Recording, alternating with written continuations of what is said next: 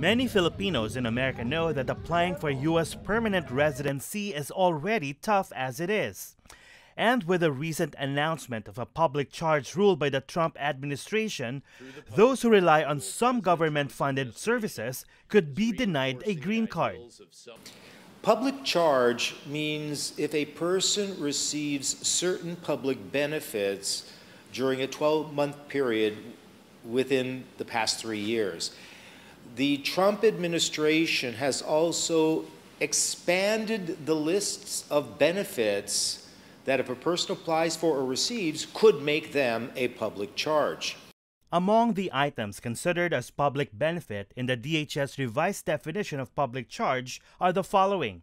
Supplemental Security Income or SSI, Temporary Assistance for Needy Families or TANF, commonly known as welfare, Supplemental Nutrition Assistance Program or SNAP, also known as food stamps, certain subsidized housing programs such as Section 8, and most forms of Medicaid or public aid. In the past, if a person had applied for or received those benefits, they would not have been considered a public charge.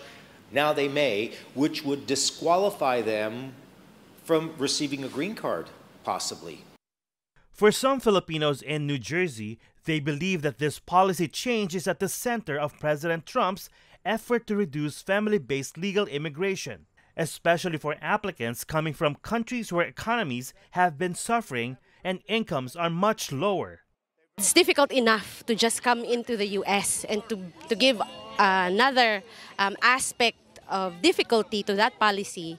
Eh di kawawa naman na talaga yung mga Filipinos who come to the US kasi walang trabaho sa Pilipinas. This Filipino picnic was held not far from the Statue of Liberty, where an inscription says, Give me your tired, your poor and huddled masses.